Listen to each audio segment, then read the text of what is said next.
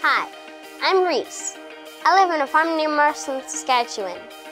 Welcome to the Whole Hog, where we'll be learning about pigs.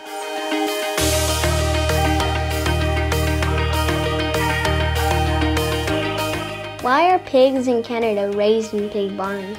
Well, I mean, if you're outside today, it's a really nice day and you don't mind being out there without uh, a jacket on, but a lot of the time in Canada, it's way too cold to be outside and, and pigs are a lot like us. They have trouble keeping warm when it is cold out. So for a good chunk of the year in Canada, they need to be, be kept in a, in a warm building just like we do and, uh, and kept comfortable so that they can be healthy.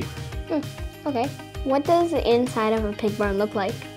They're a lot like your house actually. They have four walls and a roof and they're well insulated. They have uh, different rooms that are used for, for various things. You know, the main difference I think between the house you live in and a, and a pig barn is that the floor in a pig barn actually has holes in it or slats.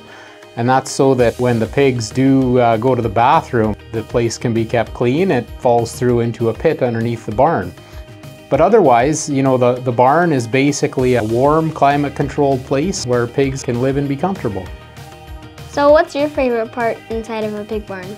Well, I think my favorite part is the farrowing room, where the baby pigs are born and live for the first uh, three to four weeks of their lives. Uh, the baby pigs are just about the cutest thing you can imagine, and it's fun to watch them spend time with their moms. What's your favorite part in the barn? Um, probably where you get to go with the sows. And why do you like that? Well, you get to see a whole bunch of basically grown-ups playing with toys. Yeah, that is pretty cool.